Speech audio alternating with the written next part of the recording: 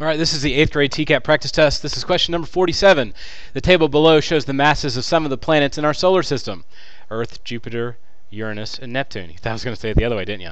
Um, which list of planets is in order from least mass to greatest? That would mean littlest to smallest. Now, the easy thing to do is to start, that would be wrong, by the way, is to start looking at the numbers and say that 1.0244 is very uh, much smaller, or is much smaller, should I say, than 8.68, so that must be the smallest one.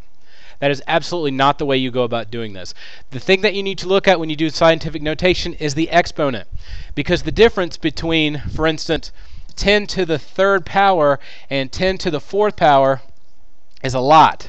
Here's 10 to the third. Here's 10 to the fourth. No matter how much bigger the number is in scientific notation, if I do 1 8 times a 1,000, it's 8,000.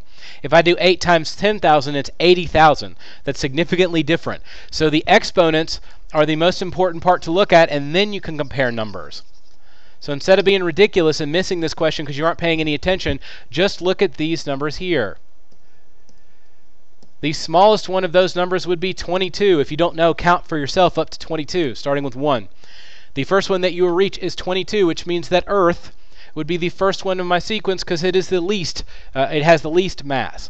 From there, I would go uh, 23, 24, oh, 25. So here we go. And then 26, and then 27. So I need to have Earth first, Jupiter, uh, Uranus second, Neptune third, and Jupiter fourth. E, U, N, J.